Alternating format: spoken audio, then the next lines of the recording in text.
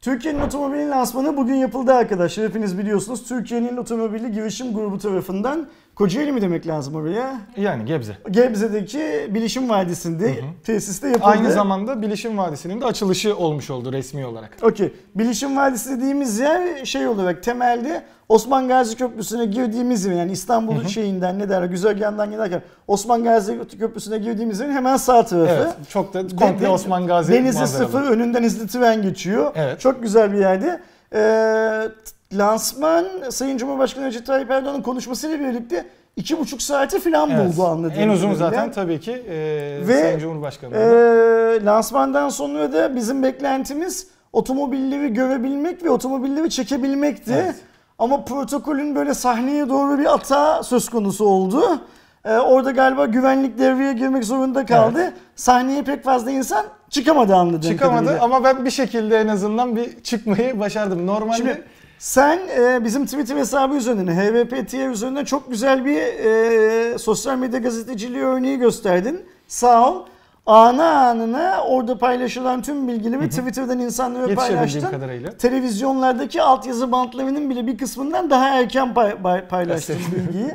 Ben ona şeyim ne derler kefilim. Anlat bize o iki saatte iki buçuk saatte ne oldu? Dışarısı çok kalabalıktı. Çok fazla kalabalık. İçerisi Aynı şekilde çok fazla okey kalabalık. ikramlar var mıydı? Ee, ikramlar vardı. Başta ilk fuaye alanında yine bir ufak tefek e, ikram verildi. Daha sonrasında alana geçtiğimizde yoktu.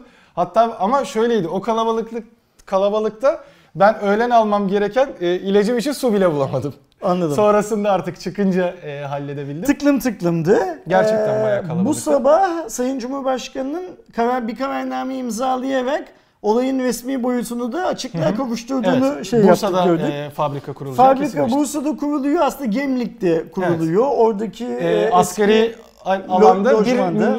milyon metrekarelik bir alanı toplam bu araç 4 milyon metrekarelik olan bir alanın eski askeri alanın 1 milyon metrekaresi TOG'a e, bırakılıyor. Bu dev- araç üretimi Araç için üretimi için. Fabrikanın yıllık 175 bin araç üretmesi Evet. planlanıyor. 5 farklı model toplamda üretiliyor. Üretilecek o fabrikada 20 milyar TL'ye yakın bir e, yatırım maliyeti Evet. var fabrikanın Ee, bütün projenin. TL'sini hatırlamıyorum da 5 milyar dolarlık da bir şey var. e, sermayesi olacak. Ya yatırım 20 mil- e, milyon TL e, 5 milyar dolarlık da sermaye ile açıldı. Toplam 4323 kişi istihdam edilecek bu fabrikada. Bunların 300'ü de beyaz yakalı Evet. dediğimiz yönetici, mühendis filan filan İlerleyen pozisyonunda. yıllarda da e, 20 bine varabilirmiş bu yani Ve tabi şeylerle yedek parça Proje falan resmi filan. da olarak var. 30 Ekim 2019 yani şundan bir ay kadar önce e, bugün işte ya da iki ay diyelim Evet. iki ay kadar önce proje resmi olarak yani şey projesi fabrika projesi resmi olarak başlatılmış. Evet. Bunlar bizim bu sabah lansmandan önce bildiklerimiz. Lansmanda neler bildik ne- neler duyduk onu da sen Ee, anlat bize. Lansmanda merak edilen şey bu 5 aracın hani elektrikli aynı zamanda benzinlisi çıkacak mı dizel çıkmayacağı zaten hani belliydi. Hibrit de bekleniyordu. Ee, tamamıyla elektrikli olacak çünkü e, orada e, TOG'un CEO'sunun da yaptığı açıklamayla hani amaç artık e, bu otomobil sektörünü olduğu yerden yakalamak. Hani geçmişe gitmek değil gelecekte olacak e, trendi takip ediyor olmak amacıyla olduğu söylendi. Benzin yok, dizel yok, hibrit yok. %100 elektrikli. %100 Tamamıyla %100 elektrikli. Cumhurbaşkanının konuşmasından da öğreniyoruz ki kıta Avrupa'sında üretilen ilk, e, tamamen elektrikli araç oluyor. Yani Yerli üretime otomobil. şeyle SUV ile başlanan ilk şirket gibi bir şey e, durumu da var e, TOG'un. 5 farklı araç dedik. Bu araçlardan ilki en azından sahnede sizin de eğer izlediyseniz gördüğünüz ilk üretime geçecek olan C sınıfı SUV. Bunun da iki farklı modeli var anladığım kadarıyla. Bir de C sınıfı sedan gelecek. Oradaki gösterilen prototipti. Hani daha en azından e, diğeri gibi çalışabilir bir araç değildi. Bunun dışında e, hatchback modeli gelecek yine C sınıfı. Bir de e, B sınıfı SUV ve e, MPV dediğimiz aslında o aile aracı uzun e, vagonlu aile aracı da C sınıfı olarak üretilecek. 2020 yılına 2022 yılına kadar da bu araçların hepsini en azından prototip ve final haliyle görmüş olacağız. 2022'de ilk, ilk de. araba ne zaman satılacak? Ee, onunla alakalı bir bilgi vermediler ama sadece e, Sayın Recep Tayyip Erdoğan'ın açıklamasında şunu anlıyorum. E, şimdi 2022'den önce olmayacağı belli zaten. 2022'ye kadar bekletmek yerine özellikle Tesla'da gördüğümüz ön sipariş sistemini e, bu araçlarda da olacağını söyledi ve e, sahnede de ilk ön siparişi de ben bizzat e, bireysel olarak Recep Tayyip Erdoğan olarak veriyorum dedi. İstanbul Taksi Odası'nın 15 İstanbul bin Taksi Odası Başkanı'nın dün ya da bir önceki gün yaptığı biz 15 bin tane araca talibiz açıklamasını da sahneden tebrik etti. Evet. Ve e, buradan da şeyi anlıyoruz. Üretilen ilk partide İstanbul'daki tüm taksi araçları, tüm taksi otomobilleri, tüm taksiler tek seferde e, yerli otomobille, milli otomobille yer değiştirecek. Yani artık işte atıyorum ayrı ayrı Hyundai, Ford, e, Renault, Tofaş filan görmeyeceğiz. Tek tip göreceğiz. Tıpkı Büyük işte- metropollerde New York'ta, Aynen. Londra'da, şurada Berlin'de burada mesela Mercedes E250 çok fazla kullanılıyor. olduğu gibi. Ee, bunun yanı sıra tabii ki merak edilen işte ilk araç C-SUV olduğu için ve diğerlerinin de ne gibi menzilleri olacak, işte e, ne gibi özellikleri olacaktı. Beklenildiği gibi 500 kilometrelik bir menzili var. Bu çok çok iyi bir değer çünkü. Hani Bugünün elektrikli otomobil dünyasında 500 kilometre üst evet, değerlerden bir Tesla'nın tanesi. vesaire verdiği ve gerçekten uzun menzil. Yani Türkiye'de satılan hiçbir %100 elektrikli araçta 500 kilometre menzil yok. Hani yabancı Şu anda, markaların ürettiği. şu anda. Evet. E, 200 beygir ve 400 beygirlik iki farklı model olacak ki bunlar da anladığım kadarıyla ön ızgarası kapalı olan 200 beygirlik hani biraz daha e, alt seviyesi daha uygun fiyatlısı daha şık duran da 400 Şimdi, beygirlik olan. Ee, Türkiye'nin otomobili e, girişim grubunun e, kendi sosyal medya hesaplarında paylaştığı fotoğraflara baktığımız zaman bir aynı modelin SUV tarzında bir olan yeşili modelin bir kırmızı. ön panelinin bir açık olduğu bir de dünkü fotoğraflarda işte lale figürüne benzetilen ka- pardon bir lale figürüne benzetilen açık Aynen. olduğu bir de kapalı olduğu versiyon var. Biz tahmin ediyoruz ki bu açıkla kapalı arasındaki fark e, pil kapa şey ile ilgili, motor gücüyle ilgili olan Çok büyük farkları ihtimalle. şey yapacak. Ya da belki B segment, C segment olabilir ama e, onu da ilerleyen günlerde göreceğiz. E, bu beygirlik farklara göre de e, 200 beygirlik araç 7.6 saniyede sıfırdan 100 kilometreye çıkabiliyor. 400 beygir olan da 4.8 saniyede hızlanma süresine sahip. Aynı zamanda 3. seviye e, otonom araç e, sistemine de hazır olacak. Yani burada en azından ilerleyen dönemde regülasyonlar yeterli olduğunda Avrupa'da ve dünyada Türkiye'nin ürettiği bu araçlarda da otonom desteği olacağını orada belirtmiş oldular. Yanlış bilmiyorsam şu an Türkiye'de satılan otonom araç anlamındaki en yüksek seviyedeki araçlar da dördüncü seviye galiba. Sanırım. Yani üçüncü seviye aracımız yok. Bu arada arkadaşlar tersten gittiğini Evet. düşünsünler. Yani 5, e, 4, 3, 2, 1 diye Hani gidiyor. bire geldiği zaman gerçekten sürücünün direksiyona dokunmasına gerek İçinde kalmayan, bile olmasına gerek kalmıyor. kalmayan araçlara ulaşmış olacağız. Bu standartları da biz değil dünya Evet. belirliyor onu da söyleyelim. Ee, beşler dünyada satılıyor. Türkiye'de de var galiba 5 satılan ama Türkiye'de satılan en yüksek formasyon şu anda 4. Otonom Bildiğim araç kadarıyla 4 öyle diye yani. biliyorum. Tesla'yı Türkiye'de satılmıyor dersek. Satılmıyor olarak varsayalım. Resmi olarak satılan diyelim. Aynen. Ee, bu 3 olduğu için Türkiye'de satılanlardan bir jenerasyon daha yeni olarak Evet. çıkacak. Devam et lütfen. Ee, bunun dışında tabii ki e, zaten iç konseptini falan hem e, Türkiye e, Otomobili Girişim Grubu da paylaşmıştı. Tamamıyla akıllı ve gerçekten özellikle ilk olarak Tesla'da gördüğümüz gibi e, ekranlardan oluşan bir yapı görmekteyiz. Bu yüzden akıllı araç diyebiliriz. Zaten internet bağlantısı olan ve e, uzaktan OTA dediğimiz telefonlardan bildiğimiz over the air yoluyla da güncelleme gibi gereksinimleri alacağı da orada söylendi. E, yani baktığımızda gerçekten hem elektrikli hem akıllı araç olduklarını da görüyoruz ki tasarım olarak da gerçekten hani e, orada en azından bir de gidip yakından gördüğümde ben özellikle şu an için favorimin sedan olduğunu söyleyebilirim. E, Renk olarak nasıl? Herkes kırmızı şey yaptı. Mesela sedanda beyaz ya da böyle gri arasında bir e, gümüş diyebileceğimiz bir renkti. Kırmızı gerçekten çok şık duruyor. Yeşil çok asil durduğunu gördüm. Onu direkt canlı göremedik biz hani fotoğraflarda baktığımda. Ama dediğim gibi beyazı ben komple sedanı çok beğendim. Şöyle bir detay daha Lütfen. ekleyeyim. Aracın içinden bahsetmişken hani benim çekebildiğim detaylarda ne kadar görünebilecek bilmiyorum ama hani ben kendi gözümle gördüğümde ee, çok fazla özellikle şeyin kırmızı SUV'nin içinde sportif bir detay olduğunu gördüm. Yani koltuklarda biraz sportif duruyor, biraz daha dar, geniş değil. E, ama iç hacim olarak da zaten orada verilen bilgilerden e, biri de SUV olarak en büyük ve aynı zamanda iç hacim olarak da dünyadaki en geniş araç olacağı yönünde. E, lansman sonrası ortaya çıkan bir iki tane bilgi var. Onlardan da ben Hı-hı. bahsedeyim istiyorsan biraz. Arabanın ön panelinde herhangi bir göstergenin bulunmadığı, hı hı. tüm verilerin arabanın ön camına yansıtıldığı, işte insanlar daha kolay anlasın diye arabanın ön camının bilgisayar ekranı gibi hı hı. olduğu söylendi.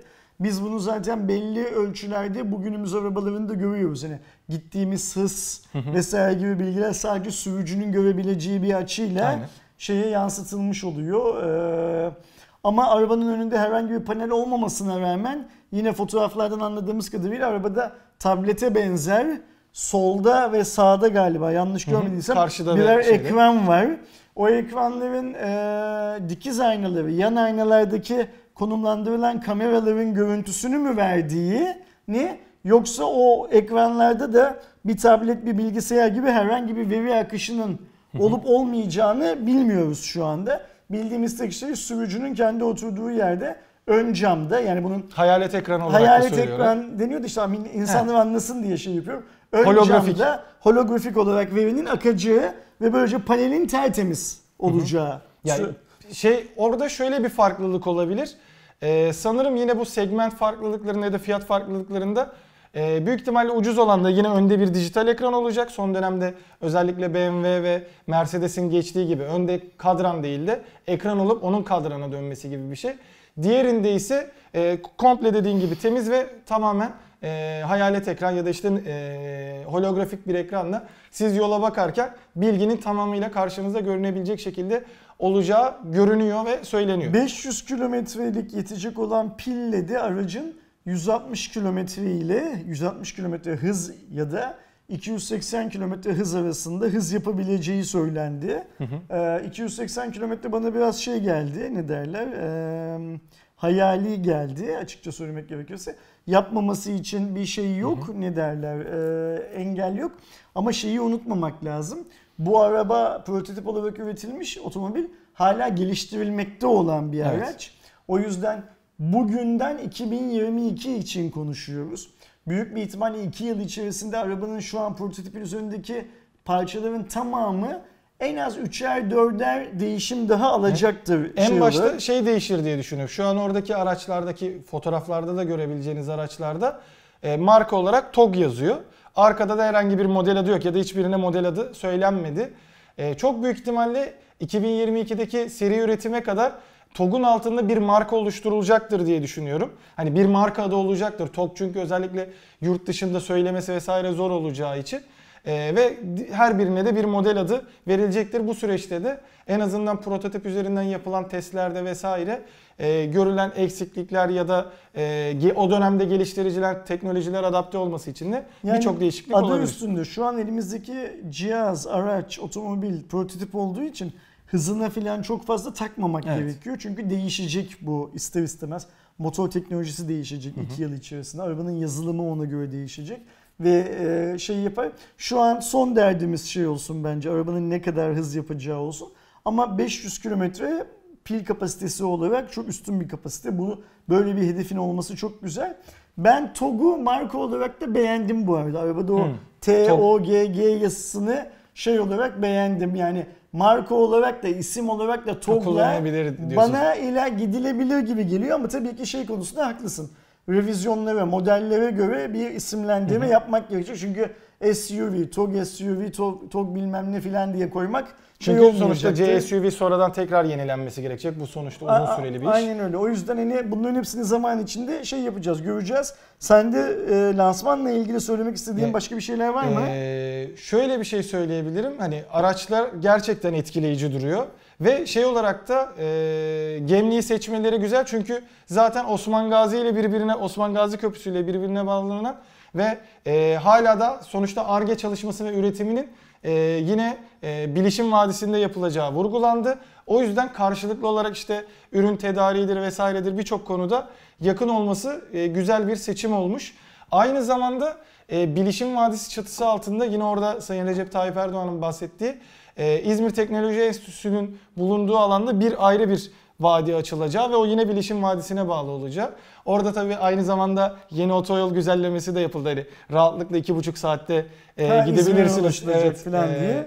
Şey de yapıldı ama genel olarak baktığımızda yani uzun süredir ta işte devrim otomobilinden bu yana yapılması gereken bir şeyin yapıldığını görüyoruz. Sadece orada bahsedilmeyen ve ileride herhangi bir şekilde soru cevap çıktığında ya da illaki biri soracaktır. Ee, benim kafama takılan noktalardan biri de tamam %100 elektrikli araçlar her şeyiyle çok güzel. Buradaki pil atıkları ne yapılacak? Yani e, altyapı zaten onunla alakalı da hemen bilgi vereyim aklıma gelmişken. Altyapı tarafında da e, 2022 yılına kadar e, özellikle Mustafa Varank, e, Sayın Mustafa Varank da açıkladı Sanayi ve Teknoloji Bakanımız. Bütün bu e, hızlı şarj istasyonları konusunda e, yatırımın yapılacağı hatta başlandı. 2022 yılında araçlar satın alınabilir forma geldiğinde Türkiye'nin herhangi bir yerinde ya burada şarj yok ben bu aracı alamam derdinin olmayacağı da bahsediliyor. Bununla alakalı da zaten benim düşüncem e, o e, baba yiğitler denilen Beş ekibin içinde bir tanesi. zorlu ve zorlunun e, zorlu enerji solution'ın kısaltması olan ZES diye zaten İstanbul bölgesinde en azından bulunan hızlı şarj istasyonları var. Tahminimce o görev ona verilecektir ve Türkiye ya genelinde da de bunu o yayacaktır. talip olacaktır buna. Olabilir. ZES'in zaten projesi marka bağımsız tüm elektrikli araçların pil ihtiyaçlarını Şu karşılamak. anda hani Türkiye'deki elektrikli araçlarda Aynen öyle. yapılabiliyor. Senin bu bahsettiğin e, kullanım ömrü biten pillerin ne yapılacağı ise sadece Türkiye'nin otomobili yerli otomobilimizin değil Dünyanın dünyadaki yer, elektrikli araçların tamamıyla alakalı. en çok zaten şey elektrikli o. araçtan kastım affedersin elektrikli araçtan kastım sadece otomobiller değil. Yani elektrikle çalışan tüm Aynen. araçlarımız. Telefonlar bile dahil aslında Laptoplarımızın filan filan da pili, telefonlarımızın da pili olmak üzere tamamının pilini şey yapan e, ne derler e, ilgilendiren bir çekince. O konuyla ilgili de eminim dünyada nasıl bir çalışmalar yapılıyorsa ona benzer bir şeyler yapılır. Şimdi yerli otomobil Türkiye için yani nasıl Türkiye'nin otomobili yerli otomobil nasıl isimlendirirse isimlendir Türkiye için çok önemli bir Kesinlikle. viraj. Kesinlikle. Türkiye için çok önemli bir kavşak. Ne söylersek söyleyelim, nasıl isimlendirirsek isimlendirelim. Ee, önemli olduğunu kabul etmek zorundayız. Bundan 20 yıl önce, 30 yıl önce, 40 yıl önce, 50 yıl önce yapılmış olsaydı ya da işte bugün o etkinlik alanında da e, gösterildiği gibi yapılanlar devam ettirebilmiş olsaydı biz belki bugün yerli otomobilimizden değil yerli uçak gemimizden Çok daha farklı e, bir- yerli de füzemizlerden uzay araçlarımızdan filan bahsediyor olurduk. Ama e, bir yerden başlamak Kesinlikle. gerekiyor. Biz de 2019 yılında Türkiye'nin yerli otomobil macerasına böylece bu TOG'la başlamış olduk. Zaten şöyle bir şey eklemek lazım sadece. Yani gelen en büyük eleştiriler işte araç ortaya çıkmaya başladığında bu tarihler yapıldığında bir işte Pininfarina üretimi daha doğrusu tasarımı olduğu için İtalya'dan gelen araç nasıl yerli ve bir de en son iç görünümü çıktığında işte üzerindeki start stop ve ek- bilgi ekranının İngilizce olması eleştirildi. Burada sadece şöylece kısa bir bilgi vereyim. Ben de onu e, şimdi ismini hatırlamıyorum. Twitter'da bir çok güzel bir flood görmüştüm. Orada açıklanmış. Zaten otomobilin üretilmesi için 51 prototip lazım. E, bu prototip üzerinden fabrika kurulur ve fabrikadaki yani buradaki herhangi bir otomobil Ford'a deyip Yani biz burada üretelim dört- diyemiyorsun. 4000 tane işçiyi işe alıp fabrikayı kurup hadi biz burada sıfırdan bir tane otomobil üretelim Diye bir dünya yok. başlamıyor iş. Aynen. İlk önce birilerine prototip ürettirmen gerekiyor.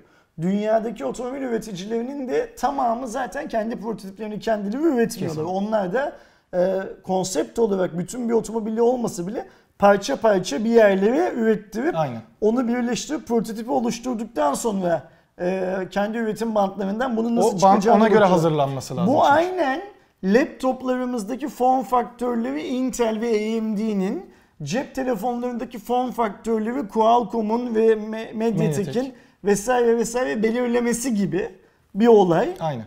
Ee, start stop hikayesi ise şu an Türkiye'de ben hiç yani e, düğmeyle çalışan hiçbir otomobilde şey görmedim.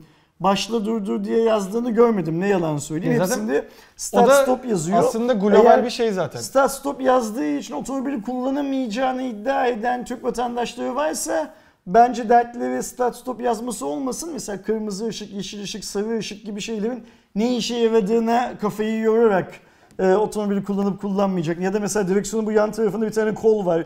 O ne işe yarıyor falan onunla yola başlasınlar. Start stop yani şimdi e, insanlar yine yanlış şey anlayacaklar ama benim evimdeki çamaşır makinesinde de start stop yazıyor. E, bulaşık makinesinde de start stop yazıyor. Televizyonun kumandasında da, da, da yazıyor. öyle yazıyor. O yüzden Yani- orada yazan start stop'un fotoğrafını e, paylaşıp e, bu işi evet bir siyasi çekişme vardır ve bu siyasi çekişme siyaseten yapılmak zorundadır. Ama hiçbir siyasi çekişmeyi de bu kadar ucuzlaştırmamak ve bu kadar aptallaştırmamak lazım Kesinlikle. bence. Bana soracak olursan o start stop hikayesiyle dalga geçmek çok mantıklı bir şey değildir. Ayrıca yine bana soracak olursan bugünkü lansmandaki o Turkey Türkiye hikayesi de e, çok fazla büyütülecek bir şey değildir. Yazılmış işte. Eğer çok fazla hassasiyetiniz varsa bu konuyla o yazılmadan önce söylersiniz oraya böyle yazmayın diye. Olur biter. Lansman bugün yapıldı 27 Aralık. Bu arada 27 Aralık benim de doğum günüm Evet, biliyorsun buradan da kutlamış olayım abi doğum günü tekrar şey olarak olsun. e, inşallah e, en kısa zamanda yani 2022 deniyor ama 2022'den de daha önce gerçekten TOG ya da adı neyse yerli arabayı yolda giderken görürüz. İnşallah ilk çıkan 16 bin, 20 bin, 50 bin tane arabayı sadece İstanbul'daki değil tüm Türkiye'deki taksi odaları e, alırlar. Ve inşallah bu arabalar Türk halkına ucuza konforlu seyahat etme imkanı sunarlar. Kesinlikle. Ve yine inşallah diyelim Yurt dışında. bu arabalar bizim e, otomotiv sektöründe şu an ihracat yapıyoruz. Recep Tayyip Erdoğan da lansmanda bunu dile getirdi. Ama kendi ürettiğimiz markalarımızla ihracat yapmıyoruz. Yerli bir markayla otomobil otomotiv sektörümüzün ihracatını iki misli, üç misli daha yukarıya şey yapar, ne derler Evet. taşır. Biz de Almanya gibi, Fransa gibi ya da başka ülkeler gibi e, cari açıkta fazla vermek yolunda şey yapan ne derler yol olan bir ülke Aynı haline zamanda geliriz böylece. e, mesela yurt dışında biz işte fuarlar ya da farklı etkinlikler için gittiğimizde orada yolda bile işte TOG ya da markası ne olacaksa o araçları bundan birkaç yıl sonra görüyor olmak da ayrı bir güzel olur. Ben gerçekten hani e, işi siyasetine girmeden hani orası apayrı bir dünya.